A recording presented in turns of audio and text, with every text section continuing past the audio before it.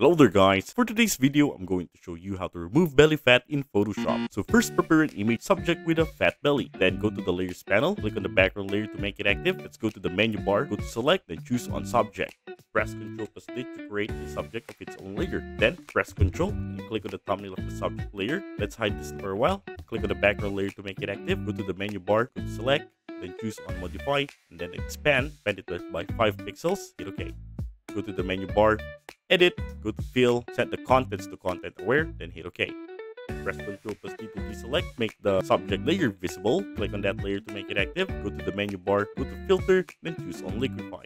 From the toolbar, get on the forward warp tool, increase the size of the brush, pressing close bracket key, enough for the belly to move. Now let's start warping this one by click and dragging the stomach in hit OK. And that's how it goes. So don't forget to hit the like and subscribe. Thank you for watching.